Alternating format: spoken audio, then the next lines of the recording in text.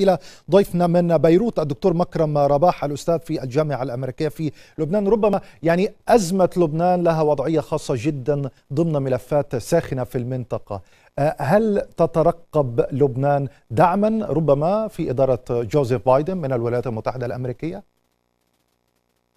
المراهنة على هذا التغيير في الإدارة الأمريكية لا أعتقد بأنه سينعكس بشكل مباشر على لبنان. أن دعم أمريكا إلى لبنان هو واضح من خلال دعمها للجيش وللمؤسسات الدستورية. ولكن المراهنة بأن بايدن سيكون أكثر تسامحا مع حزب الله ومع إيران هو موضوع قد لفت له أنتوني بلينكن في الأمس وحتى وزير الدفاع المقترح من قبل إدارة بايدن عندما تكلم إلى الكونغرس وأكد بأن الخطر الإيراني المستمر لن لن يغير من موقف الإدارة الأمريكية ولكن المطلوب هو بأن تتنازل إيران وأن تقوم بتغيير تصرفاتها. وهنا لا أعتقد بأن الموضوع النووي هو الأساسي فكان هناك العديد من المشاكل منها تورط إيران في المنطقة إن كان في في العراق وفي اليمن والسيطرة على كل من سوريا ولبنان المطلوب هنا بأن لا لا يراهن الشعب العربي على الإدارة الأمريكية بل عليهم أن يراهنوا على نفسهم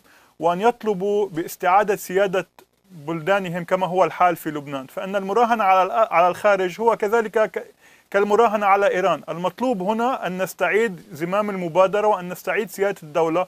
وعندما تستطيع الدول العربية أولا الشقيقة أن تساعد لبنان وثم ينضم إليها كل من أوروبا وأمريكا. علما بأن أوروبا لا تزال تحاول أن تعيد إنتاج الاتفاق النووي القديم الذي قام به أوباما والذي أعطى هذه المنطقة للحرس الثوري الإيراني وأدى إلى سقوط لبنان وسقوط المنطقة بشكل عام دعني أتلمس هذه المخاوف لضيفي من بيروت الدكتور مكرم رباح دكتور يعني إذا ما تعاظم دور إيران بعد عودة الولايات المتحدة الأمريكية للاتفاق النووي هل ترى أن حزب الله ربما يهيمن أكثر وأكثر على مفاصل الدولة اللبنانية أم لا؟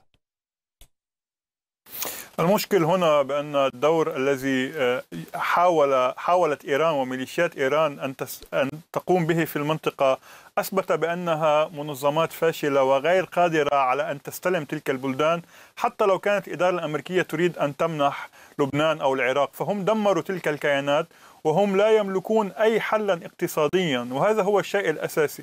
لا أعتقد بأن هناك مرحلة متقدمة أكثر من المرحلة التي نمر بها في لبنان وفي المنطقة أي الاحتلال الإيراني لبعض الدول.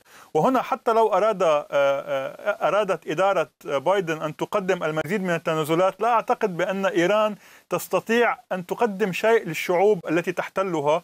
وقد أثبتت هذا أثبت هذا الموضوع بالانهيار السريع للاقتصاد اللبناني الذي هو نتيجة تحالف هذا السلاح الإيراني الغير شرعي مع سلاح الفساد والطغمة المالية الحاكمة. الشيء الأساسي هنا بأن المطلوب بإيران أن تتنازل تدريجيا وأن تسمح بعودة تلك البلدان إلى طبيعتها أي الكيانات العربية المحيطة بها.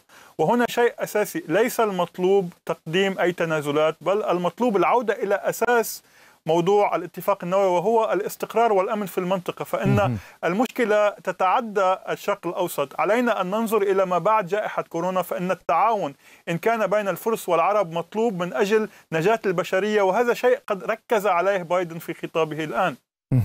شكرا جزيلا لكم جميعا. لضيفي الدكتور مكرم رباح الأستاذ في الجامعة الأمريكية في لبنان. شكرا جزيلا. أيضا الشكر موصول للسيدة